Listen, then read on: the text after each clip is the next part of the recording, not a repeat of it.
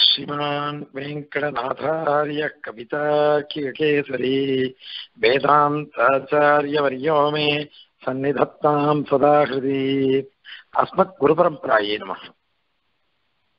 நேற்று ஸ்லோகத்துல பொதுவாக கர்த்தத்துவம் பராயத்தம் எப்படி வரும் காலை கட்டி விட்டுட்டு ஓட சொன்னா எப்படி இருக்குமோ அந்த மாதிரிதான் இது அப்படின்னு ஆக்ஷேபம் வரைச்ச அதுக்கு பதிலாக கர்ம பரவசத்துவம் இந்திரிய பரவசத்துவம் கால பரவசத்துவம் அதிர்ஷ்ட பரவசத்துவம் இது மாதிரி பரவசம். இன்னொருத்தருக்கு அதீனமா இருக்கிறது. அதெல்லாம் நீ ஒத்துக்கிற. அப்ப மாதிரி அந்த அதுக்கு அதீனம் தானே. அதுவும் பராதீனம் தானே. ஒரு காலத்துக்கோ அல்லது கர்மாவுக்கோ அல்லது இந்திரியங்களுக்கோ அதீனமா இருக்கிறதுன்றது கூட பராதீனம். பராதீனம் தானே. அந்த பராதீனத்தை நீ ஒத்துக்கிறேன்ற. ஆனால் ஈஸ்வரன் கிட்ட அதீனமா இருக்கிறதுன்றதை வந்து ஒத்துக்க மாட்டேன் நியாயமா? இதுவோ பல ஸ்ருதிகள் சொல்லிக் கொடுத்திருக்கு சரீராத்ம பாவத்தை. பல ஸ்ருதிகள் சொல்லிக் கொடுத்திருக்கு. அப்படி இருக்கச்ச அந்த ஸ்ருதிகள் சொல்லச்ச அதுல மாத்திரம் நீங்க துவேஷத்தை காமிச்சு ஈஸ்வரனையே தள்ளிடணும்னு பாக்குறீங்களோ அது உங்களுக்கு துஸ்சாத்தியம். அதை சாதிக்க முடியாது. அப்படின்றத நேற்று ஸ்லோகத்துல சொல்லி கர்த்தத்துவம் பராதீனம்தான்னுட்டு பொதுவா சாதிச்சுட்டார். இப்போ அதன் பேர்ல கேள்வி வருது. எம்பெருமான் நமக்கெல்லாம் வந்து கர்த்தத்துவத்தை பராதீனமாகவே இருக்குது அவன் அதீனமா தான் கர்த்தத்துவத்தை அனு அனுகிரகிக்கிறான் அப்படின்னு சொன்னாக்கா அப்போ இது வந்து எப்படி செல்லுபடியாகும் லோகத்துல நம்ம எப்படி எல்லாம் பார்க்கிறோம்? எவ்வளவு வேறுபாடுகள்? ஒரு ஒரே அப்பா அம்மா. அவகிட்ட பிறக்கிற குழந்தைகள் அஞ்சு பேரோ ஆறு பேரோ எட்டு பேரோ ரெண்டு பேரோ எப்படி வேணாலும் இருக்கட்டும். அவளுக்குள்ள எவ்வளவு பேதங்கள்? எவ்வளோ மனோபேதங்கள்? அபிப்பிராய பேதங்கள் எவ்வளவு இருக்கு? அவளுடைய உடம்பு பேதங்கள் எவ்வளவு இருக்கு? அவளுடைய ருச்சி பேதங்கள் எவ்வளவு இருக்கு? எப்படி எல்லாம் இருக்கு? எவ்வளவு கோபதாபங்கள் எவ்வளவு பிரீதி ஸ்னேகம் எப்படிலாம் மாறி மாறி இருக்கே? எல்லா குடும்பத்திலையும் அனுபவிக்கிறோம் நாம இது. இந்த மாதிரியாக ஒரு குடும்பத்துல ஒரு தகப்பனார் தாயார் தகப்பனார் அவளுக்கு பிறக்க வேண்டிய பிறக்கிற குழந்தைகள் இருக்காளே அவளுக்குள்ளேயே இத்தனை பேதங்களை நாம பார்க்கிறோம். அப்படி இருக்கச்ச லோகத்துல எவ்வளவு வேறுபாடுகள். இதெல்லாம் எப்படி? எம்பெருமான் தான் பண்றான் அப்படின்னாக்கா அவனே எல்லாருக்கும் ஒரே மாதிரி ஒரே மாதிரி பணம் ஒரே மாதிரி வீடு ஒரே மாதிரி கிரகிணி ஒரே மாதிரி குழந்தைகள் சுகம் எல்லாத்தையும் ஒரே மாதிரி கொடுக்க வேண்டியது தானே? ஒருத்தர் துக்கத்துல அடிபட்டுட்டே இருக்க தமிழ சொல்லுவா பாருங்க அது பட்ட காலிலே படும் கெட்ட குளமே கெடும் அப்படின்னுவா. ஒரு காலில் அடிபட்டதுன்னாக்கா திருப்பி திருப்பி அந்த காலிலேயே அடிபடும். அப்படி எல்லாம் இருக்கும். அந்த மாதிரி கெட்டக்கூடியே குடியே கஷ்டப்படுறவன் கஷ்டப்பட்டுட்டே இருப்பான். சுகப்படுறவன் சுகப்பட்டுட்டே இருப்பான். லோகத்துல இதை நம்ம பார்த்துட்டு தானே இருக்கோம். இந்த மாதிரியாக வேதங்கள்லாம் வருது. வேதங்கள்லாம் வருதுன்னா ஈஸ்வரனை தான் காரணம். அவனுடைய அதீனம் தான் எல்லாமே. பலாதி கர்த்தத்துவம் அவன் அதீனம் பலம் அனுபவிக்கிறது அவன் அதீனம் கர்த்தத்துவம் ஞாத்திருத்துவம் போக்திருத்துவம் எல்லாமே அவன் அதீனம் அப்படின்னு சொல்லிட்டா இந்த பேதம் ஏன் வந்தது? பேதமே வர வேண்டாமே. அது வராமலே இருக்கலாமே. ஏன் வந்தது இது? அப்படின்லாம் கேட்டு கேள்வி வந்ததுன்னாக்கா அதுக்கு சமாதானம் சாய்க்கிறார். ஏற்கனவே நிறைய வாட்டி அதை சொல்லிருக்கோம். இல்லையா? வந்து இது நிறைய வாட்டி சமாதானம் சாச்சிருக்காரு சுவாமி. இதை ஏற்கனவே நிறைய சொல்லிருக்கோம். அதாவது எப்படி? அப்படின்னாக்கா ஒரு விவசாயி ஒரு ஆச்சாரியன் ஒரு தாயார் தோப்பினார். மூணு பேரையும் பார்த்துக்கோங்க. ஒரு விவசாயி தன்னுடைய பயிரை வளர்க்கிறான். பயிரை வளர்க்கச்ச ஒரே மாதிரிதான் ஜலத்தை குத்துறான். நீர் பாய்ச்சறான் உரம் போடுறான் களை எடுக்கிறான் எல்லாமே ஒரே மாதிரி தான் பண்றான். அத்தனை பயிருக்கும். ஆனால் ஒரு பயிர் ரொம்ப நன்னா வளர்றது. ஒரு பயிர் மத்தியமமா இருக்கு. ஒரு பயிரோ ஒண்ணுமே வளரல. அப்படிலாம் இருக்குது. அந்த மாதிரி ஒரே ஆச்சாரியர். அன்னைக்கே சொல்லிருக்கோம். என்ன சார் சுவாமிக்கும் காலட்சேபம் சாய்ச்சார் சுவாமி. வளையபேடு சுவாமிக்கும் சாய்ச்சார் அவருடைய குமாராளுக்கு சாய்ச்சார் இன்னும் பெரிய பெரிய பண்டிதாளுக்கெல்லாம் சாய்ச்சிருக்கார் அடியன் மாதிரி இருக்கிற என்ன மாதிரி இருக்கிறவளுக்கும் சாய்ச்சிருக்கார் அவள்லாம் எங்க அடியன் இங்க. ஒரே மாதிரி தானே சாய்ச்சார் அவளுக்கு என்ன காலட்சேபம் சாய்ச்சாரோ அதுதான் எங்களுக்கு சாய்ச்சார் இன்னும் சொல்ல போனாக்கா அவளுக்காவது எழுபத்தி ரெண்டு நாளோ ஒன்றுவோ என்ன சார் சுவாமிக்கு? எழுபத்தி ரெண்டு நாள்ல ஸ்ரீபாஷம் முழுக்க எடுத்த வாழ்க்கை. இப்போ நம்ம அதிகம் சார் சாராடு சேவிச்சுட்டு இருக்கோம். கிட்டத்தட்ட ஒன்றரை வருஷம் ஆக போகிறது ஒன்றரை வருஷம் ஆக போகிறது ஆனால் நம்மளால எத்தனை அதிகாரம் முடிஞ்சிருக்குது இப்போ? ரெண்டாம் அத்தியாயத்துல மூணாம் பாதம் சேவிச்சுட்டு இருக்கோம் இப்போ. அந்த மாதிரி இருக்கு நமக்கு. நூத்தி ஐம்பத்தாறு அதிகரணங்கள்ல எட்டு ஒண்ணு ஒன்பது அப்போ அறுபத்தெட்டு அதிகரணம் அது. முதல் ரெண்டு அத்தியாயத்துல. முதல் ரெண்டு அத்தியாயத்துல அறுபத்தெட்டு அதிகரணங்கள். அதுல இப்பதான் ஐம்பத்தேழாவது அதிகரணமும் நம்ம சேவிச்சுட்டு இருக்கோம் நாம. ஐம்பத்தேழாவது அதிகரணம். அதனால இன்னும் ஒன்பது அதிகரணம் இருக்கு இந்த முடியறதுக்கு. ஐம்பத்தேழா ஐம்பத்தி ஒன்பது ஐம்பத்தி ஒன்பதாவது அதிகரணம். ஐம்பத்தி ஒன்பதாவது அதிகரணம். பத்து இல்லை இல்லை தப்பு கணக்கு வரல. அறுபதாவது அதிகரணம். முப்பத்தஞ்சாயிரத்து முப்பத்தஞ்சு ஐம்பத்து நாற்பத்தஞ்சு நாற்பத்தஞ்சு எட்டும் ஐம்பத்தி மூணு ஐம்பத்தி மூணு நாளும் ஐம்பத்தேழு. ஐம்பத்தெட்டாவது அதிகரணம் இப்போ? ஐம்பத்தெட்டாவது அதிகரணம் நம்ம சேர்ச்சுட்டு இருக்கோம் இப்போ. அந்த மாதிரி. முப்பத்தஞ்சு ஐம்பத்தி நாற்பத்தஞ்சு நாற்பத்தஞ்சு எட்டம் ஐம்பத்தி மூணு ஐம்பத்தி மூணு நாலு ஐம்பத்தேழு ஐம்பத்தெட்டு. ஆமாம் ஐம்பத்தெட்டு. அதனால இவ்வளவுதான் நம்மளால சேவிக்க முடிஞ்சிருக்கு காரணம் நம்முடைய புத்தி. அரியன் சொல்றதுலயும் அப்படி இருக்கு. தேவதைகள்லாம் கேட்கணும்னாக்கா உங்களுக்கு நான் இறங்கி வந்தாகணும். இறங்கி வந்தாகணும். ஒரு நாளைக்கு ஒரு ஸ்லோகம். ஆரம்பத்துல நான் கேட்டேன். உங்களுக்கு வந்து தமிழ் ரொம்ப விளக்கமா சொல்ல முடிய சொல்றனே. இந்த மாதிரி ஐம்பது நிமிஷம் நாற்பத்தஞ்சு நிமிஷம் ஒரு மணி நேரம் அப்படி கூட ஆயிடுறது ஒரே ஸ்லோகம் சொல்றதுக்கு. அல்லது சுருக்கமா சொல்லட்டுமா அப்படின்னு அப்போ நீங்கள்லாம் சொன்னது எனக்கு ஞாபகம் இருக்கு. இல்லை இல்லை. இந்த மாதிரியே போட்டோம். அப்பதான் எங்களுக்கு நன்னா புரியும். நன்னா நீங்க இறங்கி வரது தான் எங்களுக்கு புரியுறது அப்படின்னுட்டு. அந்த மாதிரி சொன்னாதான் நமக்கு அர்த்தமாகுது. இதனால ஒரு ஆச்சாரியர் அத்தனை சிஷ்யா இருந்தால் கூட ஒரு விஷயம் மகா வித்வான் இன்னொரு விஷயம் மத்தியம வித்வான் இன்னொரு விஷயம் ஒண்ணுமே இல்லை. பராகுட சுவாமி சொல்வார் கற்பூர புத்தி கரி புத்தி அது மாதிரி வாழைமட்ட புத்தி அப்படிங்கிறார். கற்பூர புத்தி அப்படி தொட்டாலே போதும் பத்துடணும் ஞானம் அற்புதமா வந்துடும் கற்பூர புத்தி அது அது கரி புத்தினாக்கா நம்ம எவ்வளவு சொல்லி கொடுத்தாலும் சரி. நிதானமாக தான் பிடிக்கும் பிடிச்சுட்டு நல்லா இஷ்டம் கரியானது அடுப்பு க குமிட்டி அடுப்பு மூட்டுவோம். அப்போ கரியானது உடனே பிடிச்சிக்காது. பிடிச்சுட்டு போறோம். அற்புதமா நின்றுடும் அக்னி அதுல. ஆனால் வாழை எவ்வளோ நீங்க நெருப்ப போட்டாலும் சரி அது பத்திக்கவே பத்திக்காது சுவாமி சாட்சி எதுக்குன்னாக்கா தேசிகனை பற்றி ஒரு உபன்யாசம் பண்ணார். பரவட்ட சுவாமி. தேசியனை பற்றி உபன்யாசம் பண்ணச்ச அப்போ இந்த விஷயத்தை சாதிச்சார் தேசிகன் கற்பூர புத்தியும் கரி புத்தியும் சேர்ந்து இருந்தா எப்படி இருக்குமோ அந்த மாதிரி சுவாமி. இருபது வயதுல விம்சத்தியத்தை விஸ்வதன் அனாவித வித்யா அப்படின்னு தன்னை சொல்லிக்கிறார். இருபது வயசுல அனைத்து சாஸ்திரங்களையும் எல்லாத்தையும் கரைச்சி குடிச்சு அற்புதமான ஞானியா மாறினார் சுவாமி. அதுக்கு அதை சாட்சியாரு அதனால இந்த மாதிரி சில வித்வான்கள் அப்படி இருக்கா சில வித்வான்கள் மத்தியம வித்வான்கள். சில வித்வான்கள் ஒண்ணுமே தெரியாம இருக்கா? அதே மாதிரியாக ஒரே தாயார் தோப்புனா குழந்தைகளை வளர்க்கிறார். அதுல நல்ல ஒத்து பார்த்து பார்த்து தான் போடுறா. தாயாராகட்டும் ஆகாரத்தை போடுறதாகட்டும் பணம் கொடுக்கறதாகட்டும் வஸ்திரம் கொடுக்கறதாகட்டும் ஆனால் ஒரு புள்ள பெரிய உத்தியோகம் இன்னொரு புள்ள சாதாரண உத்தியோகம் இன்னொருத்தன் ஒண்ணுமே இல்லை. சில பேர் ஏழையா இருப்பா சில பேர் பணக்காரா இருப்பா. அவ அவருடைய அது என்னன்னு சொல்றது? இந்த மாதிரி பேதம் இருக்கே. இதெல்லாம் என்ன இது?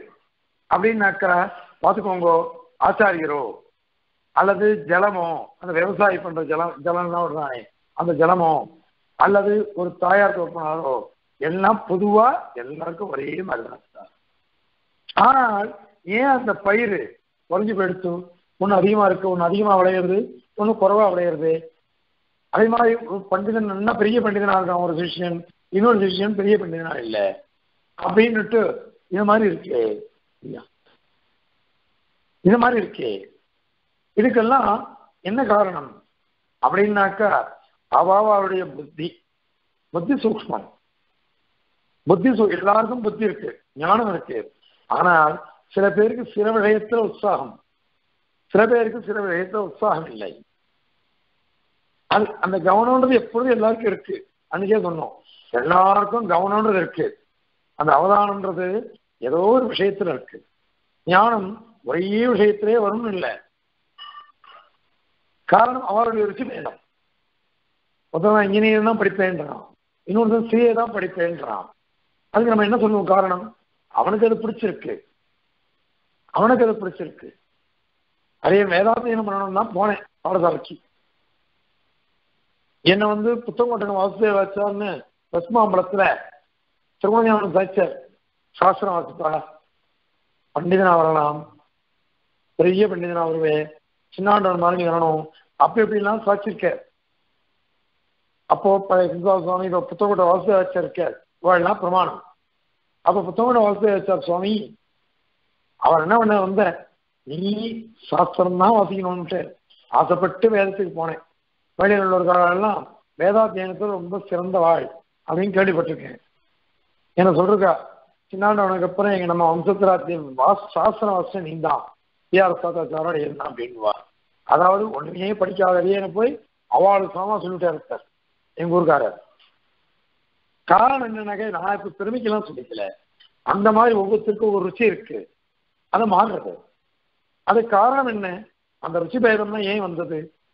அப்படின்னா அவாவாளுடைய பீஜம் கர்ம பீஜம். கர்ம பீஜம். கர்ம பீஜம் என்ன அர்த்தம்? புண்ணியபாபூர்வமான கர்மா. இது வந்து நமக்கு ஒன்று இல்லை. சதுர்முக பிரம்மா இருக்கானே. அவங்கிட்ட இருந்து ஆரம்பிச்சு புல்பூண்டு பரியந்தம் எல்லாருக்கும் அப்படிதான். வைஷமியம். லோகத்துல ஒவ்வொருத்தருக்கும் ஒவ்வொரு இச்சை. அந்த இச்சையை யாராலையும் மாற்றவே முடியாது. ஒரே உடம்பு. அன்னைக்கே சொன்னோம் பாருங்க ஒரு ரெண்டு குழந்தை எனக்கு. ஒரு குழந்தைக்கு ஃபேன் வேணும். இன்னொரு குழந்தைக்கு ஏசியை வேணும் என் கிரகணியும் திட்டமா இருக்கணும்வா எனக்கு ஒண்ணுமே வேணாம்னு ஏன் அது? நம்ம உடம்பு அப்படி இருக்கு இல்லையா? ஒவ்வொருத்தருடைய உடம்பு அமைப்பு தானே அந்த மாதிரி தான் ஆச்சாரியர் உபதேசிச்ச ஞானம் அதை கிரகிக்கிறதுக்கு எனக்கு இவ்வளவுதான் இருக்கு. இன்னொருத்தருக்கோ நிறைய இருக்கு ஞானம். அதனால பெரிய பண்டிதர் ஆரம்பிச்சார். அடியேனும் சாதாரண பண்டிதனா இருக்கேன். இன்னொருத்தரோ ஒண்ணுமே இல்லாமல் இருக்கா காரணம் நம்ம மூளை வேலை செய்யறது இல்லை ஒரு சுவாரஸ்யம் இருக்கு. இப்போ அதே சில பேருக்காக காலட்சேபம் பண்ணவா? சரி சுவாமி கிட்டேயே அவளுக்கு வேதாந்தத்துல ஞானம் இல்லைதான். ஆனால் மகா கட்டிக்காரா? ரெண்டு வீடு மூணு வீடு வாங்கி போடுறாவா? பணம் சம்பாதிக்கிற கெட்டிக்காரா? மனுஷால ஆகர்ஷிக்கிறத கட்டிக்காரா? அதெல்லாம் சில பேருக்கு அப்படி இருக்கு. இன்னும் சில பேரோ நம்ம வாசுதேவ வச்சார் மாதிரி இவெல்லாம் பார்த்தோன்னா பாருங்க உபன்யாசமா அதையும் அடிச்சு விடுறா. சாஸ்திரமா அடிச்சு விடுறா. காரணம் அவளுடைய புத்தி சூக்மம். அதே மாதிரி இருக்கிறவளுக்கும் அது மாதிரி இல்லை. ஏதோ ஒரு இடத்துல கொஞ்சம் கொஞ்சம் ஏதோ இருக்கு. அந்த மாதிரி. அது காரணம் என்னென்ன நம்முடைய மூளைதான். அவனுடைய புத்தியானது அப்படி இருக்கு. தாரதமியம் அது மாதிரிதான் பயிருக்கும். அந்த மாதிரிதான் பிள்ளைகளுக்கும். இதுக்கெல்லாம் மூல காரணம் என்ன? அப்படின்னாக்க விசேஷ காரணங்கள் இருக்கு. அவளுடைய அந்த கர்மா புண்ணிய பாபரூப கர்மா. இந்த புண்ணிய பாபரூப கர்மா இருக்கு பாருங்க அதுதான் இத மாதிரி மனுஷால இது பண்றது. அது இத மாதிரி பண்ணிடுறது. இப்படி பண்ணிவிடுறதுனால இந்த மாதிரியாக வேறுபாடுகள் இருக்கு. அதுல எம்பெருமானுக்கு என்ன குறை வந்தது? அவன் ஒண்ணுமே தப்பு பண்ணலையே. பொதுவா இருக்கான். ஜலம் மாதிரி இருக்கான் சங்கராச்சார் சொல்றான் பர்ஜன்யவதீஸ்வரஹா அப்படிங்கிறார் மேகம் மாதிரி. ஈஸ்வரன். மழை பெய்கிறது. மேக மழையை கொட்டுறது எல்லாருக்கும் ஒரே மாதிரி தான் கொட்டுது. இப்பமானா காலதேச வர்த்தமானங்கள்லாம் மாறி போயிடுச்சு. ஆனால் அழகான மேக மழை கொட்டத்த மாதம் மும்மாறி பெய்யுது நீங்கின்ற நாடெல்லாம் மாதம் மும்மாறி பெய்யுது அப்படிங்கிற திருப்பாவையில அந்த மாதிரி மழை பெய்யுறது. இந்த மழை பெய்யுதுன்னா எப்படி இருக்கும்? ஜலம் பிரவாகமா வருது ஆனா பாருங்க ஒரே மாதிரிதான் மழை பெய்யறது. ஒரு இடத்துல மழைங்கிறது பெய்ஞ்சாலும் ஜலமே நிற்க மாட்டேன்றது. இன்னொரு இடத்துல மழையெல்லாம் தேங்கி போயிடுறது இன்னொரு இடத்துல திட்டமா இருக்கு. திட்டமா இருக்கு. அதனால இது இப்ப என்ன அர்த்தம் அப்படின்னாக்கா பர்ஜன்யம் மேகமானது மேகமானது அது மேகமானது எல்லாருக்கும் ஒரே மாதிரி தான் மழை பெய்யறது ஆனால் ஒ- ஒருத்தருக்கு பெரும் வெள்ளம் வருது ஃப்ளட்டு அதனால அல்லாடுறா. ரெண்டு நாள் மழையை சென்னை தாங்க மாட்டேன்றது. எங்க பார்த்தாலும் தண்ணி தேங்கி விடுறது. காரணம் என்ன? இருக்கிற எல்லா ஏரி கூட எல்லாத்தையும் சுத்தடிச்சுட்டான் போட்டோம். அதனால ஒரு இடத்துல அப்படி ஒரு இடத்துல இப்படி. திருப்பதி பக்கம் எவ்வளவு மழை பெஞ்சாலும் ஜலமே போராது ஒரு நாளைக்கு ஒரு லட்சம் பேர் வந்தாக்கா மலைக்கு அவளுக்கு எவ்வளவு ஜலம்னா போக மாட்டேன்றதே. அதனால எல்லாமே வத்தி போயிடுச்சு. அப்படி இருக்கு. அதனால இந்த மாதிரி ஒரே மாதிரி எம்பெருமான் இருக்கான். நம்முடைய கர்மாக்கள் அது மாதிரி. கர்மாக்கள்னா புண்ணியபாபுரூப கர்மாக்கள்னா மாறி மாறி மாறி நம்மளை படுத்திட்டு இருக்கு. அதனால பெருமாள் கிட்ட ஒரு தோஷமும் சொல்ல முடியாது. அவன்கிட்ட ஒரு தோஷமும் சொல்ல முடியாது. எல்லா விதத்தினாலையும் எம்பெருமான் ஒரே மாதிரி தான் இருக்கான். இத சுவாமி வந்து அழகா ஒன்று காமிக்கிறார். இங்க இவரு பெருமாள் வந்து எல்லாத்தையும் சமமா தான் இருக்கார். எல்லாரும் சமமா இருக்கார். தானும் சொல்ற சமூகம் சர்வபூதேஷு. நமே தேஷ்யோஸ்தி கஷ்டன. அர்ஜுன பார்த்து சொல்றாரு பா நான் வந்து எல்லாருக்கும் சமமா தான் இருக்கேன். எனக்கு யாருமே துவேஷம் கிடையாது. எனக்கு யார் விரோதி? அவர்கிட்ட வாராட்ட முடியுமா பெருமாள்கிட்ட? விரோதின்றது பெருமாளுக்கு யாருமே கிடையாது. பாகவதாளுக்கு யார் விரோதியோ அவதான் விரோதி. அவருக்குன்னு யாரும் விரோதி இல்லை. அதனால நமே துவேஷோஸ்தி கஷ்டன எனக்கு துவேஷல யாரும் இல்லையே. நான் எல்லாத்தையும் ஒரே மாதிரி தான் இருக்கேன். ஒரு தாயார் பத்து குழந்தை பெற்றாலும் சரி அந்த பத்து குழந்தைகிட்டையும் ஒரே மாதிரி தான் பிரீதியை கொடுப்பா ஹண்ட்ரட் பர்சன்ட் பிரீதியை கொட்டுவா தாயார்ன்றவோ சில இடத்துல எக்ஸம்ஷன் இருக்கலாம். சில இடத்துல எனக்கு தெரிஞ்ச ஒருத்தர் இருக்க அவர் தாயாருக்கு எங்கேயுமே பண்ண மாட்டேன்னு சொல்லிட்டார். அதுக்கு பெரிய பிள்ளை. இவர் ஓரம் கட்டிட்டு மீதி பிள்ளைலாம் பார்த்துருந்தா அப்புறம் தாயார் நான் போக மாட்டேன் மூஞ்சி முடிக்க மாட்டேன்ட்டார் அதன் பிறகு நாங்கள்லாம் சொல்லி தாயாருக்கு பண்ண வேண்டியது சுரூபம். தாயார் கூட பெற்றவளா இருந்தாலும் அவளை நம்ம பார்த்துக்க வேண்டியது நம்ம சுரூபம். அதுக்கு எங்கே பண்ணும் அப்படின்னு சொல்லிட்டு அப்புறம் பண்ணினார். ஆனால் என்ன சொல்லுவாரு சில பேருக்கு அப்படி இருக்கலாம். ஆனால் பொதுவாக தாயார் எப்படி எல்லார்ட்டையும் ஒரே மாதிரி சமமா பாதிப்பாளத்தும் குழந்தைகள்கிட்ட அந்த மாதிரிதான் இங்கே பெருமாள் எல்லார்கிட்டையும் ஒரே மாதிரி இருக்க சாமியம். நான் எல்லார்கிட்டையும் பெருமாளே சொல்றேன் நான் எல்லார்கிட்டையும் சமமா தான் இருப்பேன். எனக்கு தேசம்ன்றது கிடையாது. அதுலயும் ஒரு வாட்டி சதஸ் சொன்னது காஞ்சிபுரத்துல எங்கிட்ட ஒருத்தர் கேட்ட கேள்வி. என்ன கேட்டாருனாக்கா இந்த மாதிரி அந்த பெருமாள் ஏன் பக்ஷபாதம் பார்க்கிறார்? ஒரு தாயா குழந்தைகள் எத்தனை குழந்தைகள் தப்பு பண்ணாலும் சரி நல்லது பண்ணாலும் தப்பு பண்ணாலும் அந்த குழந்தைய அரவணைச்சிருந்தாலும் போகணும். வந்து சிக்ஷிக்கிறாரே. தப்பு பண்றவாளை சிக்ஷிக்கிற அந்த மாதிரி நம்ம நல்ல வாழை சாதுக்குள்ள ரட்சிக்கிற இன்னொன்னு நித்திய சொல்லிகள் இருக்காளே அவள நித்தியாளா எப்பொழுதுமே கர்ம பரவசாலாக இல்லாம அவளை பிரசுட்ட இப்ப பக்ஷபாதம் பெருமாள் பார்க்கலாமா? அவனுக்கு ஏன் இது மாதிரி இல்லை? பக்ஷபாதம் ஏன் இருக்கு? ஒருத்தர்கிட்ட நிக்கிறோம் ஒருத்தர்கிட்ட அனுப்புறோம் இது மாதிரி எப்படி இருக்கலாம்? அப்படின்னு கேட்டேன். அடையன் வந்து வைசாசத்துல சோதனை நடக்கிறது. நம்ம நாள் பார்க்க வாசுதேவாச்சாரியே திருத்த வைப்பார். வரதாச்சார சுவாமி. அந்த சுவாமி வந்து பார்த்து எக்ஸ்ட்ரா இருக்கேன் அப்பா அடியன் இதை கேட்டுட்டேன். இந்த மாதிரி என்னது இது? இது மாதிரி கேட்குறா. என்ன சமாதானம் சொல்றதுன்னுட்டு பதினஞ்சு பதினெட்டு வருஷம் முன்னாடி. அப்பா அந்த சுவாமி சாதிச்சார். பெருமாள் வந்து எப்பொழுதுமே அனுகிரகிக்க சுபாவம். அவனுக்கு பக்ஷபாதம்ன்றதே கிடையாது. நிகிரகம்ன்றது ஏறிட்டுன்றது. ஏறிட்டுக்கிறது. ஏறிட்டுக்கிறதுன்னு என்ன அர்த்தம் அப்படின்னா ஒரு குழந்தை தப்பு பண்ணினா அவனு கொண்டு போடுறோம் பாரு. அப்படின்னு மிரட்டுறோம். கொண்டுட மாட்டோமே நாம. அந்த நிக்கிறோம். அந்த குழந்தைய சிக்ஷிக்கணும். பயமுறுத்தி தப்பு பண்ணாம இருக்க வைக்கணும். அதுக்கோசரம் நம்ம கோபத்தை ஏறிட்டுக்கிறோம் குழந்தைய கொண்டுடுவோம் நாம? எப்பேற்பட்ட குழந்தை நம்ம? குழந்தை கிடைக்கிறது சாமானியமா? எந்த குழந்தையும் எந்த அப்பாவோ தாயா தோப்பனோ தோப்பனாரோ தாயாவோ கொண்டுட கொண்டுட மாட்டா.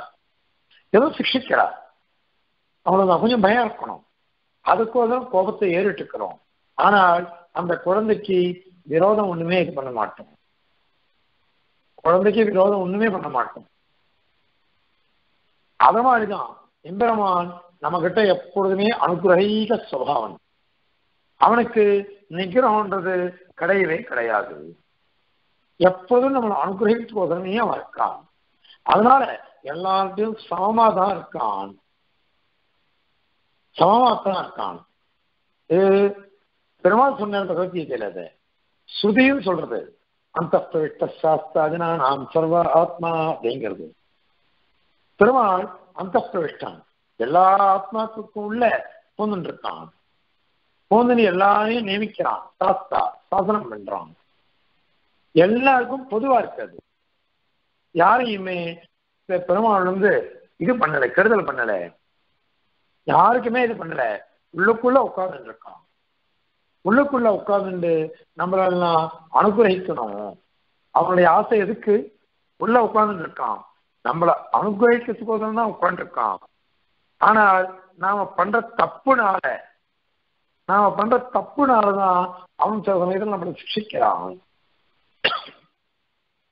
நம்மளை தான் சிக்ஷிக்கிறான். உண்மையிலேயே அவன் நம்மளை அனுகிரகித்து தான் உட்காந்துருக்கான் அங்க நிறைய இடத்துல சொல்லுது அது. சுபாலோபுரம் சொல்றது சர்வசிய சரணம் சுகிறது அப்படிங்கிறது. உலகத்தில் இருக்கிற அனைத்து ஜீவன்களுக்கும் எம்பெருமானே சரணம். எம்பெருமானே சுகத்து சௌஹார்தத்தோட இருக்கான். எல்லாம் அவனே பிதா. அவனே மாதா அவனே பிராத்தா அவனே பந்து. பிதாத்வம் மாதாஸ்துவம் தைத்த தனயத்துவம் பிரிய சுகரத்து அப்படிங்கிறார் சுவாமி நம்ம ஆளுந்தார் அதனால அவனே அப்படி இருக்கான். அதனால உடனே சொல்றது எல்லாருக்கும் ஒரே மாதிரிதான் இருக்க ஆசைப்படுறாங்க நம்ம பண்ற தப்புகள் அதோட பலனை கொடுக்கணும் என்னக்கா? ஒரு சிக்ஷகன் ராஜாவா இருக்கிறவன் என்ன பண்ணுவான்? தப்பு பண்றவாளை சிக்ஷிப்பான். நல்ல வாழை அனுகிரகிப்பான். லோகத்துல நம்ம பார்த்துட்டு தான் இருப்போம். அந்த மாதிரி தான் இங்கேயும். நம்ம தப்பு பண்ணினோம்னாக்க சிக்ஷிக்கிறோம். ஆனா ஒண்ணு எம்பெருமானுடைய சிக்ஷை கூட நமக்கு அனுகிரகமா மாறுபடுது அதுதான் இங்க சுவாரஸ்யம். ஏற்கனவே உபன்யாசம் சொன்ன பாருங்க. எப்படி நிகத்தே ஏவ ஹிதத்தா. எதிரிகள் அடிக்கிறது கூட சரி. அது ஹிதமா போயிடுது. நிகத்தின்னு அடிக்கிறது? ஹிதம். அந்த நீ எடுத்துட்டாக்கா அது ஹிதமா போயிடுது அடிக்கிறதே ஹிதமா எடுத்தது. அந்த மாதிரி அது. ஏன்னா அவன் சரணமா இருக்கான் நம்ம எல்லாருக்கும். அவன் சித்தமா இருக்கானே. அஞ்சலிங் ஞாசமான என்ன செய் என்ன நினைங்களேன் என்ன சேவிச்சிருங்களேன் இதோ இப்ப சாராவது சேவிச்சுட்டு இருக்கோம். இந்த அரை மணி நேரம் ஆகுதோ நாற்பது நிமிடம் ஆகுதோ தெரியாது. ஆனா தேவ தேவரியலுக்குமா எப்படி இருக்குன்னு தெரியல அடி எனக்கு. அடியனுடைய அனுபவத்தை சொல்றேன். ஆனந்தமா இருக்குது. எனக்கு தொண்டை வலி தெரியாது. உடம்பு வலி தெரியாது. அது மாதிரி எந்த ஆத்து பிரச்சனையும் இல்லை. ஏதாவது சப்தம் போட்டா வைவேன் நான் நீங்கள் நீங்க சொல்லிட்டு இருக்கிற சமயத்தை மாதிரி குறுக்குறை கதறியாங்க சப்தம் போடுறியான்ட்டு காரணம் தாரப்படக்கூடாது அந்த மாதிரியாக ஆனந்தமா இருக்குது ஏன்னா இது பெருமாள் விஷயமானது. பெருமாள் விஷயமா நான் பண்ணச்ச அற்புதமா அமையிறது. ஆனந்தமா இருக்கு. கீதா பாஷன் சொல்லிட்டு இருக்கேன். கேட்கிறவாள்னாலும் சொல்ல ஆரம்பிச்சிட்டா. எனக்கு ஆனந்த அவளுக்கு புரியுறதா? புரியலையா? அல்லது அவளுக்கு சந்தோஷமா இருக்கா? ஏன் தெரியாது. ஆனா அடையனை பொறுத்த பரியந்தம் கீதா பாஷ்யம் மூணு ஆயிரத்தி ஆறு ஒரு நாளைக்கு. அந்த மாதிரி அதிகம் சார் அவளுக்கு சொல்றேன். தீபம் சொல்றேன். இதெல்லாம் மனது பெருமாள் தானே. நான் தியானம் பண்ணல யோகி இல்லை. ஆனால் பெருமாள் விஷயமா நம்ம பார்த்துட்டு இருக்கோம். பெருமாள் விஷயமா பார்க்க நமக்கு மனசுல கிளேசம் வரலை கஷ்டம் வரலை எதுவுமே வரலை. எப்பொழுதும் ஒரே மாறி இருக்கும். அதான் நான் சொல்றேன் என்ன நானே சரணன் என்னையே அட என் சரணம் அடிக்கிறேன் நான் ரட்சிக்கிறேனே. எம்பெருமானார் எம்பெருமானார் இருந்து இருந்தேனும் முதலே ஆண்டாள் வந்து சேவிச்சாராம். சேவிக்கச்ச கிடாம்பி ஆச்சாரம் சேவிச்சாராம் இந்த முதலே ஆண்டான எம்பெருமானார் நம்ப கூடாது ஏன் அப்படின்னா ஏன் கேட்டேன் முதலே ஆண்டான் அவருக்கு பவித்திரம். இது திருதண்டம் வா அவன் எல்லாம் வந்து சடாரின்னு சொல்றா. முதலியானாலும் சடாரி எம்பெருமானாருடைய திருவடி தலைக்கு சேர்க்கிறவளோ இல்லையோ அது. ஆனால் ஆண்டவன் சாதித்த அவர் தானே திருதண்டம். திருதண்டமும் திருவடியும் ஒன்னாயிடுமா ஆகாது. திருதண்டம் அவர். முதலியான் தான் பரமபக்தர். ஆனா அதாவது எல்லாம் என்னன்னாக்கா நிந்தாஸ்துதி செய்யற மாதிரி ஸ்துதி பண்றது. திரேம்பியாசான் சாட்சியரா இப்ப ஏன் இவரை நீ வந்து நம்ப வேணாம்னு சொல்ற? அப்படின்னு கேட்கிறேராம் எம்பெருமானார். அதுக்கு கிடாம்பியாச்சான் சாட்சியராம் நம்பருமான சேவிக்கிச்ச நம்பருமானே சரணம்ங்கிற எம்பெருமானார சேவிக்கிச்ச எம்பெருமானாரே சரணம்ங்கிற எம்பெருமானார் திருவடி சரணமே போருமே நம்பருமானத்துக்கு நம்பருமானத்துக்கு தேவரையில் தான் எனக்கு முக்கியம். அப்படின்னுட்டோ. அவர் தள்ள பாதுகை வச்சுட்டு இருந்தாராம். எம்பெருமானாருடைய பாதுகையை. அந்த பாதுகை என்ன பண்ணலாம் தெரியுமா? இவர் ஆராய்ச்சி தேவத்தை விக்கிரகமூர்த்தி. அதை ஒரு பொட்டியில ஏழை பண்ணி வச்சிருக்கார் எம்பெருமானார். தன்னுடைய ஆச்சாரியருடைய பாதியை தள்ள வச்சிருந்திருக்கார் சிறுசுரையில இஸ்லாமிய ஆச்சான் அதை எடுத்து அப்படியே அவர் பெருமாள் என்ன பண்ணியிருந்தாரோ இல்லையோ அந்த பொட்டி மேல வச்சுட்டாராம் இஸ்லாமிய ஆச்சான் உடனே நம்ம எம்பெருமானாருக்கு கோபம் கொடுத்தான் பாஷையால் என்ன பண்ணார்? பாதியை தூக்கி பெருமாள் தள்ள வச்சுட்டாரு அப்படின்னு இவர் சிரிச்சுட்டே சொன்னாராம் உம்ம பெருமாள் தேவருக்கு முக்கியம். என் பெருமாள் எனக்கு முக்கியம் நேரம் அவர். எவ்வளவு இவெல்லாம் ஆச்சாரிய பக்தியை காமிச்சிருக்கா? சரணாகிரின்னா ஆச்சாரிய சரணாகிரியே போரும். பாகவத நிஷ்டை. அந்த மாதிரி போரும். அதாவது சரணாகி பண்றவா? ஆனால் ஆச்சாரியர்கிட்ட எவ்வளவு பக்தியோடு இருந்தார் அதாவது சரணம் பெருமாளுடைய சரணமடையணுன்றதை பற்றி போது இந்த விஷயத்தை உத்தாந்தம் ஒரு மகான்களுடைய உத்தாந்தம். காத்தாலும் இவ்வளவு தப்பு பண்ணிருக்கேன்.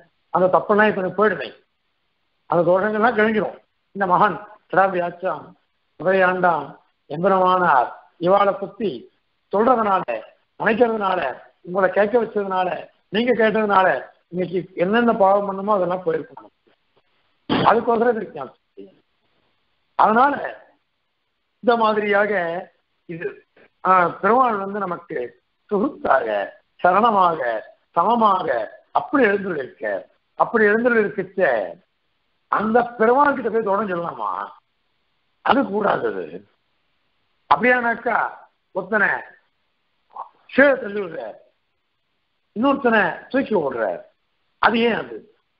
அதோ நினையும் சரி கீழே பெருமாளும் சொல்ற தானகம் விஷத குரூரான் சம்சாரேஷு நராதவான் ஷிபம் அஜஸ்ரம் அசுபான் ஆசுரீஷ்டேவ யோனிஷு அப்படிங்கிற சுவாமி பெருமாள் கீதையில அவன்லாம் ஆசுர யோனிகள் திருடன் ஜாக்கிரத அப்படிங்கிற. ஆனால் பெருமாள் ராமாவதாரத்துல அங்குள்யக்கிரேன தான்யாம் இச்சன் அரிகணேஸ்வர. அவன கெட்டவர்கள் இருக்கு அதனாலே அத்தனை கொண்டு விடுவதான் நினைச்சேன்னாக்கா அப்படிங்கிற. ஏன்னா என்ன அர்த்தம்? பெருமாள் நோ அனுகிரகிக்க வேஷம் கோபமே கிடையாது நீங்களே அப்படின்னாக்கா அர்த்தம் தான் அவருக்கு இப்பயும் கோபம் கிடையாது. ஆனால் தப்பு பண்றவாட சிக்ஷை காட்டாக்கா அது தோஷமா போயிடும் தப்பு பண்றவாட சிக்ஷிக்கணும் சிக்ஷிக்காத சமயத்துல தோஷமா போயிடும் ரெண்டு குழந்தை இருக்கு. ரெண்டு குழந்தை ரெண்டு ஒரே தப்பு பண்றது. ஒரு குழந்தைய ஒன்று அடிச்சுட்டு இன்னொரு குழந்தைய அடிக்காம இருந்தா அப்ப இந்த குழந்தை மனசுல என்ன தோணும்? வரலாம் அப்பனா. ரெண்டு பேரும் தப்புன்னு என்ன ஒன்று அடிக்கிறான் சின்னவன் அடிக்கல. அல்லது சின்னவன் ஒன்று பெரியவன் ஒன்று சின்னவன் அடிக்கிறான் பெரியவன் அடிக்கல. தோணமா தோணாதா? அந்த மாதிரி தோஷமா போயிடும் அதனால அவாவா கர்மாதீனமாக இவா என்ன என்ன தப்பு பண்றாளோ அந்த தப்புக்கு ஏன்னா கர்ம பிரவேசம் நாம் எல்லாரும் கர்ம பிரவேசம் நாம இருக்குச்ச நம்ம என்ன பண்ணுவோம்? அந்த தப்புக்கோசம் தண்டனை அனுபவிச்சுதான் ஆகணும். அதனாலதான் யார் யாரு தோஷம் பண்றாளோ அவன் அத்தனை பேரையும் கீழே தள்ளுறார் அதனாலதான் உபனிடம் சொல்றது ஏழையேவ சாது கர்ம காரயதி சாது கர்ம காரயதி எம் யமேபியோ லோகேபியா உன்னினீஷதி உன்னினீஷதி மேல எடுத்துனாரு யமன் லோகம் யமலோகமோ நரகலோகமோ அங்க எங்கேயும் போக விடாம ஏது அழிச்சுன்னு போய் தன்னுடைய லோகத்தை சேர்த்து விட்டுற சஜ்ஜ சாது ஜனங்களை இதாவது சாது ஓகி உபாசகா அப்படிங்கிறார். சாதுக்களை இந்த மாதிரி பெருமாள் ரட்சிக்கிற இந்த மாதிரி ரட்சிக்கிற அதனால சாது கர்மா இது அதே எதையே அசாது கர்ம காரையம் தப்பு பண்ணாக்கா அவளை வந்து அசாது கர்மாக்களை அசாது கர்மாவை பண்ணா அதனடியாக இன்னொன்னு இன்னொரு அசாது கர்மாவை பண்ண வச்சிருவார் பெருமாள். அதனால அவரே சொந்தமா பண்ணி வைக்கல. இவன் பண்ண பாவத்துக்கு ஏத்த மாதிரி பண்ணி வைக்கிறார். பண்ணிட்டு எம் அதோ இனீஷதி எம் தம் எம் எவன் பண்றானோ அவனை. அதோ அத உனக்கு அதோ வெளிதான்றவன் என்ன அர்த்தம்? அதான கீழன்னு அர்த்தம்? கீழா போய் ஊந்துருவோம் போடி. அப்படின்னு அர்த்தம் ஐயோ. அவனுக்கு அதோ வழி வந்துடும் உனக்கு. அப்படின்னாக்கா கீழே போய் விடுவான்.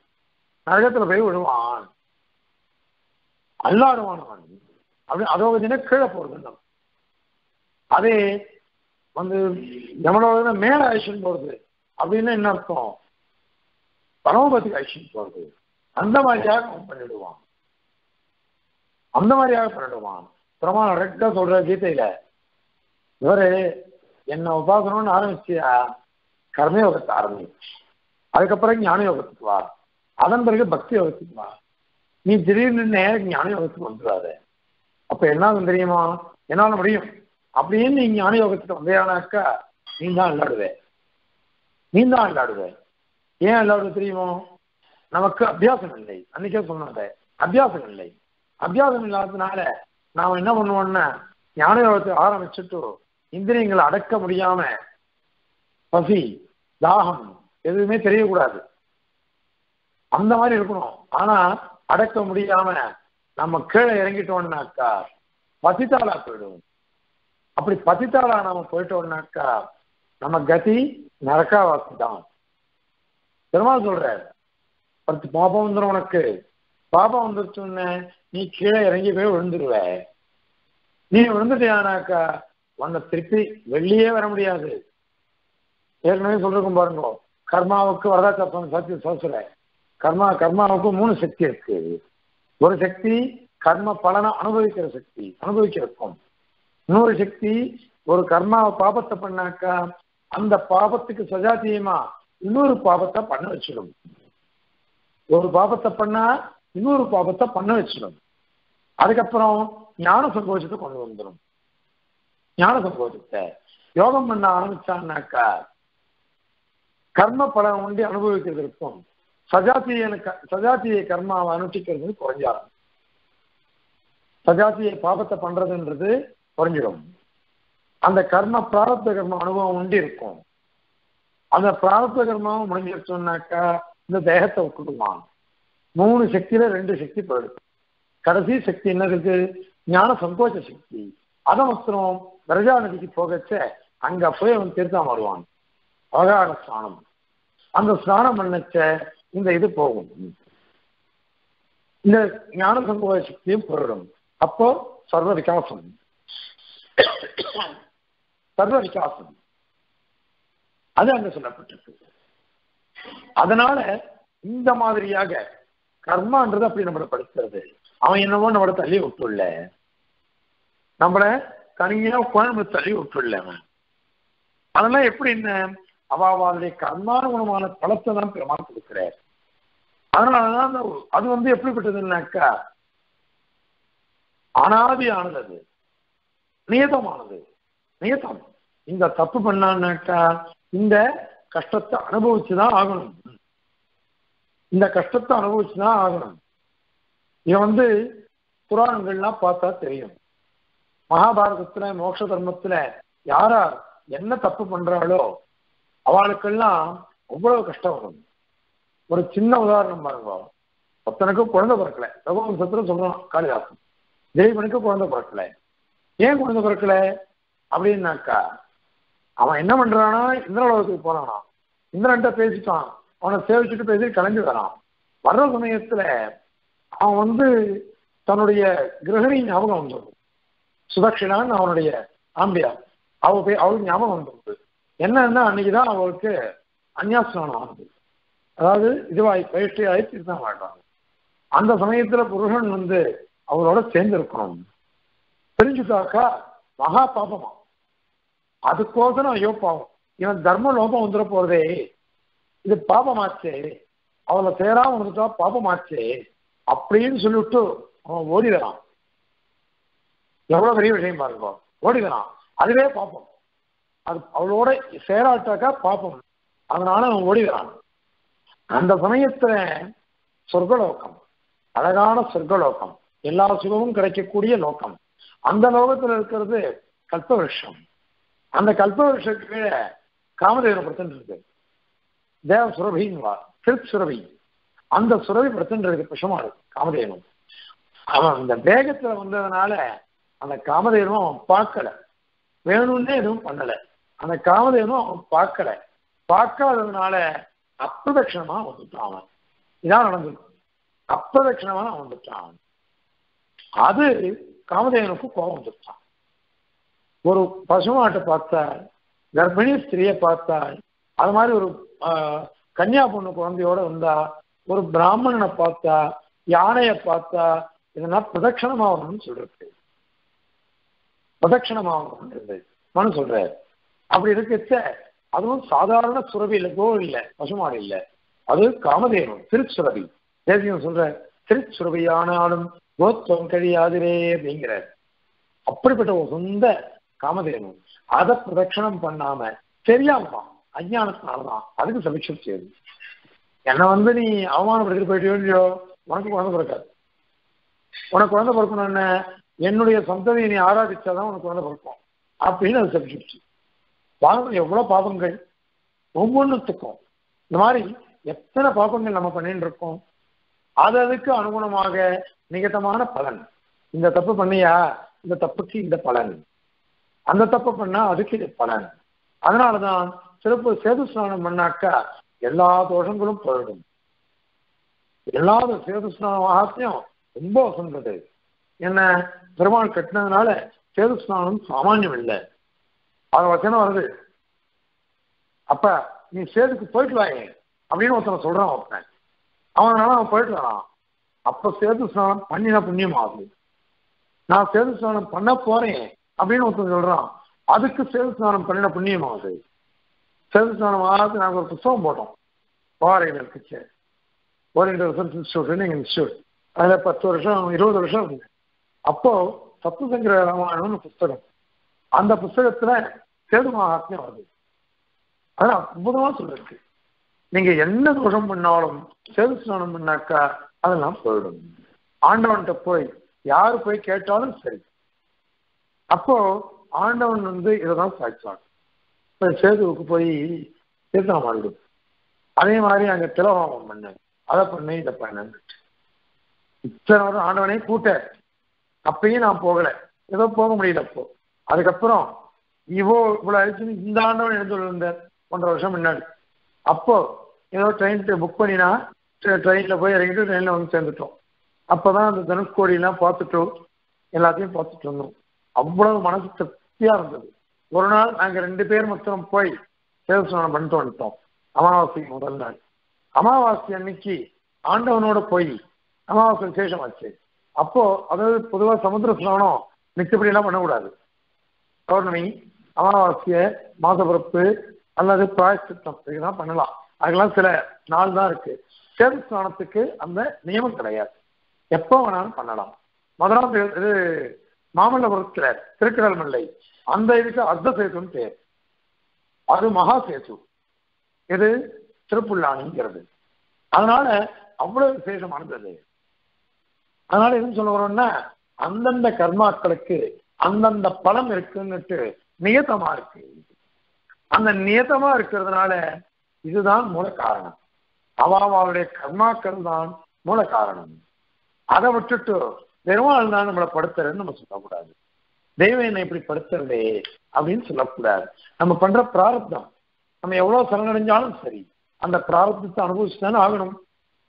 அதனாலதான் ஏக தேகாதானே அதனாலதான் இந்த சுகம் துக்கம் எல்லாமே மாறி மாறி வருது எல்லாமே கர்ம பீஜம் அந்த கர்ம பீஜமா வருவதனால பெருமானுக்கு ஒரு தோஷமும் இல்லை. அவனுக்கு வைஷமியம் கிடையாது. அவனுக்கு கருணையே இல்லைன்றதும் கிடையாது. அடுத்த ஸ்லோகத்துல இன்னும் ஆச்சரியமா சாய்க்க போறார். ஆச்சரியமா சொல்ல போறார் சுவாமி தேசிகன். தேசிகன் மாதிரி யாராலையும் சொல்ல முடியாது. நம்ம எல்லாரும் எப்படி கிரகிக்கணுமோ அந்த மாதிரி அது. தேசிய ஸ்ரீ சுத்தியல் ஒவ்வொன்றும் சொந்தது. அடையன் வந்து பிரம்மசூத்திரம்லாம் விட்டு பண்ணினேன் எல்லாம் ஆச்சு. ஆனால் இந்த அதிகார சாராவில் விட்டு பண்ணினேன். அப்புறம் தத்துவம் சாகலாம்லாம் விட்டு பண்ணினேன். ஆனால் இந்த சாராவில் விட்டு பண்ணணும் இல்லையோ அதுதான் என் ஜென்மாவிலேயே ரொம்ப பெரிய நல்ல சொக்காரியம் பண்ணதா அடைய நினைச்சிட்டு இருக்கேன். காரணம் சாரீரிக மீமாம்சை அத்தனையும் அப்படியே அக்கு வேற ஆணி வேற அப்படியே அனாலிசிஸ் பண்ணி எல்லாத்தையும் சாட்சிக்கிறார் சுவாமி. அவனுக்கு வசந்த கிரந்தம் இந்த அதிகரண சாராவளிங்கிறது அதனால இவர் அழகழகா சாய்க்கிறது ஆக இந்த மாதிரியாக எம்பெருமானுக்கு தோஷமே வராது. தோஷம் வருதான் நீ நினைச்சுக்கிறதெல்லாம் தவறு. இப்ப இந்த ஸ்லோகம் பாருங்க சாதாரண்யேன ஹேது சலிலமிவ விபு சர்வ காரியாங்குராணாம் வைஷமியம் சுவாபிரிஞ்சாத் பிரதிநியத பலைः பிராணினாம் கர்ம பீஜைः சாமியம் स्वस्य स्वगीतम् श्रुतमपि तदिह अधो निनीशादिभेदः तादृक्कर्मानुरूपम् फलमपि नियतो नादिरेष பிரவாக விபுகு இந்த பரமாத்மா இருக்கானே அவன் சர்வ காரியாங்குரானாம் அனைத்து காரியங்கள் லோகத்தில் இருக்கிற அனைத்து காரியங்களுக்கும் சாதாரண்யேன்னு ஹேது சாதாரணமான ஹேத்து தான் அவன் சாதாரண ஹேத்துவா இருக்கான் அது எப்படி அப்படின்னாக்கா சலிலம் இவ ஜலங்கள் மாதிரி ஜலம் மாதிரிதான். ஜலம் மாதிரி தான் ஒரு ஜலம் எப்படி இருக்குமோ அந்த மாதிரி அவன் எழுந்துள்ள இருக்கான் சலிலம் விபுகு சாதாரண்யேன ஹேது. சாதாரணமான ஹேத்துவா இருக்கும் சாமானிய ஆக்காரம் சாதாரண என்ன? சாமானியமான ஆகாரத்தினான ஹேது. பிராணினாம். ஆனா ஜீவராசிகள்லாம் லோகத்துல நம்ம எப்படி பார்க்கணும் வைஷமியம் பார்க்கணுமே ஒருத்தருக்கு ஒருத்தர் எவ்வளவு வேறுபாடு இருக்கு? அதை நம்ம பார்த்துன்னு தானே இருக்கோம். அது எப்படி? அது எங்க? ஆவிரிஞ்சாக்கு விரிஞ்சி. விரிஞ்சன்னாக்க சதுர்முக பிரம்மாவுக்கு விரிஞ்சி விரிஞ்சின்னு சொல்லுவாங்க. ஆவிரி விரிஞ்ச அவங்கிட்டேந்து சதுர்முக பிரம்மா தான் முதல் ஜீவன். முதல் ஜீவன் அவன் தான் யோ பிரம்மாணம் விததாதி பூர்வம்ன்றது வாக்கியமே. பிரம்மாவை தான் முதல் முதல்ல பெருமாள் சிருஷ்டிச்சார் அதனால அந்த பிரம்மா தான் பத்த ஜீவராசிகள்ல முதலானது அவன்ல இருந்து ஆரம்பிச்சு நமக்கு லோகத்துல பார்க்கிறவே அனைத்து ஜீவராசிகளும். ஆவிரிஞ்சாத்து வைஷமியம் இருக்கே அதெல்லாம் எப்படி அப்படின்னா பிரதிநியத பழகி வியவஸ்திதமான பலங்கள் பிரயோஜனங்கள். பலம்னா பிரயோஜனம். அந்தந்த கர்ம பீஜை பிரதிநிகித பழகி ஒவ்வொரு கர்மா நம்ம பண்ற கர்மாக்கள் அனாதியான சம்சாரத்துல நம்ம எவ்வளவோ தப்பு பண்றோம். இந்த ஜென்மாவில இந்த ஜென்மாவிலேயே நம்ம தெரியுது நிறைய தப்பு பண்ணிட்டு இருக்கோம். நிறைய பாகவதால வெய்யணும் அவர் அப்படி பண்றாரு இவர் அப்படி பண்றேன்னுட்டு பாகவத விசாரமே படக்கூடாதுன்னுட்டு அவ்வளவு உபன்யாசம் பண்றோம். பண்ணிட்டு அத்தனை பாகவதாலையும் கண்ணாமலையும் வெய்யறோம் எவ்வளவு பாப்போம் அதை காட்டின ஒரு சொந்த பாபம் இருக்கான்னு பாகவத விசாரத்தை காட்டணும் அது கூடவே கூடாது. அந்த மாதிரி இருக்கிற காலத்துல இந்த மாதிரி இங்க நம்ம நம்பிக்கையே பண்ணிட்டு இருக்கோம். அது அதுக்கு பிரதிநிதமாக பலம் இருக்கு. அந்த கர்ம பீஜங்களுக்கு. ஒவ்வொரு கர்மா அதனுடைய பீஜம். அதனால என்ன அர்த்தம்? அசாதாரணமான காரணம் எது? ஹேசு அப்படின்னா கர்மா தான். ஒரு பயிருக்கு பீஜம் ஒரு சிஷ்யனுக்கு ஞானம். அது மாதிரி குழந்தைக்கோ அவாவா உடம்பு அவாவா சுபாவம். அது மாதிரி நம்மளா இருக்க வாழ்க்கைலாம் சிருஷ்டி விடயத்துல நம்ம பாபங்கள் புண்ணியபாபுரவ கர்மாக்கள் அவைகள் தான் விசேஷ காரணம். சாதாரண காரணமோ அது இல்லை. சாதாரண காரணம்ன்றது எம்பெருமான். மிக அசாதாரணமான காரணங்கிறது இந்த கர்மாக்கள் தான். அது சொல்றது அது. நம்ம பார்த்து தானே இருக்கோம் இது. அது மாதிரி. அது மட்டுமா? எம்பெருமானே தன்னை பத்தி சொல்லிக்கிறான். தனக்கு சொசிய தனக்கு சாமியம். அனைத்து பூதங்களிடத்திலையும் ஒரே ரூபமா இருக்கிறது. அதுதான் சாமியம்ங்கிறது. ஸ்வதீதம் கிருஷ்ணனா அவதரித்து இந்த அவதாரத்துல இவன் என்ன பண்றான் அப்படின்னாக்கா இந்த மாதிரியாக உபதேசிக்கிறான். கிருஷ்ணனாக அவதரித்து நமக்கு உபதேசிக்கும் போது சொல்றான் சமூகம் சர்வபூதேஷு. சமூகம் சர்வபூதேஷு. அப்படின்னு அவன் சொல்றான். சமூகம் சர்வபூதேஷம் தான் எல்லாருக்கும் நான் சமமாக இருக்கிறேன். அப்படின்னுட்டு பெருமாள் சொல்லிட்டு போயிருக்கான். ந- நமே அஸ்தி ந பிரியா எனக்கு விரோதியும் இல்லை. எனக்கு பிரியனும் இல்லை. எல்லாரும் ஒரே மாதிரிதான். எனக்கு அவாவா புண்ணியபாவம் இதெல்லாம் செய்கிறேன்னு நிறைய சொல்லிருக்காரு அவாவா புண்ணியபாவங்கள் தான் நான் பலனை கொடுக்குறேன் தவிர்த்து நான் சுதந்திரமா நான் கொடுக்கவே இல்லை. நான் சுதந்திரன் இல்லை. நான் இதுலயும் நான் சுதந்திரன் இல்லை. அவாவாவுடைய எதுக்கு அனுகூலமாக தான் அது. உங்களுக்கு அம்பரீட ரூபாய்க்காலாம் தெரிஞ்சிருக்கும். துருவாச இது பண்ற. கடைசியில துருவாசர சக்கரத்தை துரத்துற. பெருமான சரணஞ்சிட்டார் அப்ப என்ன சொல்றாரு அவர்? அகம் பக்த பராதீனம் அஸ்வதந்திர இவத்விஜா. நான் பக்த பராதீனன் நான் அஸ்வதந்திரன். அஸ்வதந்திரன். அப்படிதான் நான் இருக்கேன். ஏன்ன பக்தாவை ரட்சிக்கிறது அவன் நல்லவனா இருக்கானே பரம பாகவதர் அம்பரீஷன் அதனால நான் அவரை ரட்சிக்க வேண்டியது என் பொறுப்பு. அதனால நான் எப்படி அவர்கிட்ட போய் நீ ரபிச்சாரப்பட்டே அவர்கிட்டயே போய் நீ மாத்திக்கோ. எனக்கு அவனும் ஒண்ணுதான் நீரும் ஒண்ணுதான். உமக்கு வழி சொல்லித்தரேன் காப்பாத்திக்கிறதுக்கு. அம்பரீஷன் திருவடியிலே விழுந்துரும். அப்படின்னு பிரம்ம சொல்லி கொடுக்குற. ஒன்பதாவது ஸ்கந்தத்துல ஸ்ரீமத் பாகவதத்துல ஒரு அழகா சொல்லுச்சு. அதனால போய் இவர் திருவடியில போய் வந்து அபராட்சம் பறிச்சுக்கிறேன் அது பர்யந்தம். ஜலபாரணம் வேண்டி தான் பண்ணிருக்க. துர்வாசர் வந்த உடனே தான் சாப்பிடணும்னு வெறும் உட்காந்துட்டு இருக்க அம்பரீஷன். வந்த உடனே திருப்பி ரெண்டு பேரும் ஒன்னா சேர்ந்து அவருக்கு அஜிபாத்தியெல்லாம் சமர்ப்பிச்சு அதன் பிறகு பாலனை பண்ற இது பகவத் புராணம் அழகா சொல்லிட்டு போறது. அதனால சாமியம் சொசிய ஸ்வகீதம். தன்னுடைய கீதத்திலேயே சொல்லிருக்கார். அது மட்டுமா? ஸ்ருதமபி. சர்வஸ்ய சரணம் சொல்றது. அந்த விட்ட சாஸ்திராஜனானாம் சர்வாத்மா. அனைத்து பேருக்கும் நான் உள்ள உட்காந்துன்னு நியமனம் நியமனம் பண்ணிட்டு இருக்கேன் எல்லாருக்கும் நான் சுகத்தா தான் இருக்கேன். பெருமாள் இருக்கேன் அப்படின்னு உபநிடத்து சொல்றது. அந்த மாதிரி இருக்கு. அது தஸ்மாது இக இங்க ஈஸ்வரன் கிட்ட அதோ நீ ஈஸ்வரதி பேதா. கீழே தள்ளுறதோ மேலே ஏற்றி விடுறதோ இதெல்லாம் இருக்கே. ஏழையேவ சாது கர்ம காரியத்தி. ஏழையேவ அசாது கர்ம காரியத்தி. இதெல்லாம் கூட என்ன அப்படின்னாக்கா தாதிர் கர்மானுரூபம் பலம் அந்தந்த கர்மாக்கள் அவாவா பண்ண புண்ணியபாபூர்வ கர்மாக்கள் அந்த கர்மாக்களுடைய பலம் தான் இதெல்லாம். அப்படின்னு சொல்றதுனால இது ஒரு பிரவாகம். லோகத்துல நம்ம பார்த்துட்டே இருக்கோம். நேற்று ஒரு தப்பு பண்ணேன். அந்த தப்புக்கு இன்னைக்கு நான் பலன் அனுபவிக்கிறேன். அப்போ இன்னைக்கு நான் பண்ற தப்புக்கு நாளைக்கு நான் ப- அனுபவிப்பேன். இப்படியே போயிட்டு இருந்ததுன்னா இது பிரவாகம் தானே. எப்ப முடியும்? அதுதான் பெருமாள் சொல்றேன் இந்த மாதிரி பிரவாகம் முடியணுமா? என் திருவடி அடைஞ்சுடேன் கண்ணன் அடியனையமக்க காட்டும் வெப்பு. என் திருவடியை காமிச்சுடுறாரு. பெருமாள் தன் திருவடியை காமிச்சு என் திருவடியை உழுந்துறேன் அப்படிங்கிற இருக்கிறவங்க முடியான் தேவப்பெருமாளோ நான் சுச்சகான் சாட்சின்னு இருக்காரு. ரங்கநாதன் அபயஹஸ்தம் காமிச்சுட்டு இருக்கான். எதுக்கு இதெல்லாம்? நம்மளெல்லாம் ரட்சிக்கணும். ரட்சிக்கணும். அந்த ஒரே ஒரு காரணம் தான் அப்படி பண்ணிட்டோம்னாக்கா இந்த கர்ம பிரவாகமே போயிடுமே. இதுவோ நியதமானது அனாதியானது. இது இன்னைக்கு நேற்று ஏற்பட்டது இல்லை. ரெண்டு பேருக்கும் போட்டி திருமாவளுக்கு நமக்கும். எப்படியாவது தடுக்கணும் தடுக்கணும்னு பகவான் பார்க்கலாம் சிக்ஷை பண்ணியாவது தடுத்துடலாம் அப்படின்ட்டு நீ எவ்வளவு கூட சிக்ஷை பண்ணுவியோ அவ்வளவு கூட நான் பாவம் பண்ணுவேன். நான் அனுபவித்தாலும் பரவாயில்ல. எனக்கு இதான பிடிச்சிருக்கு இந்த மாதிரி நாம இருக்கோம்.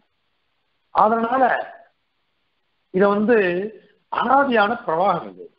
இது நியத்தமான பிரவாகம். தப்பு த- த- தப்பு பண்ணவன் தனி கொடுப்பான். ஓ, தப்பு பண்ணவன் தண்டனை அடைவான். அந்த மாதிரி உப்பு தின்னவன் தண்ணியை கொடுப்பான் அப்படின்வார் அந்த மாதிரி இது. எல்லாருக்குமே இது மிகதமானது யார் என்ன தப்பு பண்ணாலும் அந்த தப்புக்கு ஏத்த மாதிரி நம்ம பலனை அனுபவிச்சுதான் ஆகணும். பலனை அனுபவிச்சுதான் ஆகணும். அதனால அந்த பிரவாகம் இது. ஆகவே எம்பெருமான் கிட்ட எந்த ஒரு தோஷமும் இல்லை. கண்டுபிடிக்கவும் முடியாது. அவன் தப்பு பண்ணாலே யாராலையும் கேட்க முடியாது. ஆனால் அவன் தப்பு பண்ண மாட்டான். தப்பு பண்ணிட்டான்னாக்க அவன் ஹேய பிரச்சனைகள் இல்லைன்னு ஆயிடுவான் ஹேன்னு ஆயிடுவான் அதனால அவன் அவ்வளவு சுந்தரன் சுந்தரமான். அவங்கிட்ட தோஷம்ன்றதே காண முடியாது. அவாவது கர்மாதீனமாக தான் எல்லாரும் இந்த லோகத்துல அனுபவிச்சுட்டு இருக்கா அந்த கர்மாவுக்கு பலனாக எம்பெருமான் கொடுக்குறான் இல்லை சிக்ஷையோ அல்லது அனுகிரகமோ நிக்கிறமோ இதோ இருக்கான் பொதுவா அவன் சாதாரணமாக ஜலமாகடி சாமானிய காரணமா இருக்கான். விசேஷ காரணமோ அவாவா பண்ண கர்மாக்கள் தான். அப்படிங்கிறத இந்த ஸ்லோகத்துல சாட்சி முடிச்ச. இப்ப பாருங்க. சாதாரண்யேன ஹேது சலிலமிவ விபு சர்வ காரியாங்குராணாம் வைஷமியம் சுவாபிரிஞ்சாத் பிரதிநியத பலைः प्राणिनाम् कर्मभेदैः साम्यम् स्वस्य स्वगीतम् श्रुतमपि तदिह अधो निनीशादिभेदः तादृक्कर्माणरूपम् फलमतिनियतो नादिरेश प्रवाहः कविदाख्यकसिंहाय कल्याणगुणशालिने श्रीमते वेङ्कटेशाय वेदान्तगुरवे नमः